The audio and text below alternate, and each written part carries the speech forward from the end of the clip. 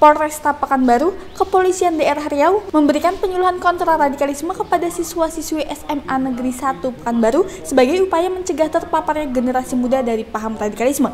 Kasat Binmas Polresta Pekanbaru Kompol Sumarno mengatakan selama ini di kota Pekanbaru masih belum ditemukan gerakan radikalisme, namun pihak kepolisian terus melakukan pembinaan kepada siswa.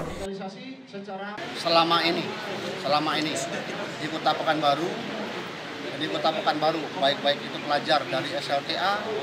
maupun yang lain ya, SLTA yang masih dalam taraf pendidikan dasar maksudnya ya bukan yang sudah kuliah gitu. itu sampai saat sekarang kami telah melakukan penyuluhan itu belum ada dan tidak ada memang dalam hal ini kemarin ada suatu kegiatan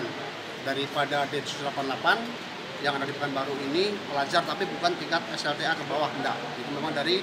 uh, yang telah melakukan kuliah dan bahkan dia saat itu menempuh pra uh, lagi uh, uh, menempuh sarjananya apa S2-nya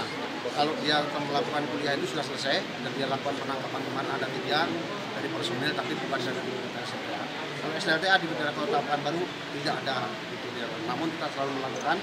uh,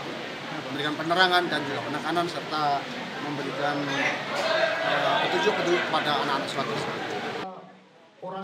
Tujuan dari pemberian penyuluhan ini adalah untuk mewujudkan kota Pekanbaru yang bersih dan bebas radikalisme dan terorisme, khususnya untuk para generasi muda yang rentan menjadi sasaran masuknya paham radikal tersebut.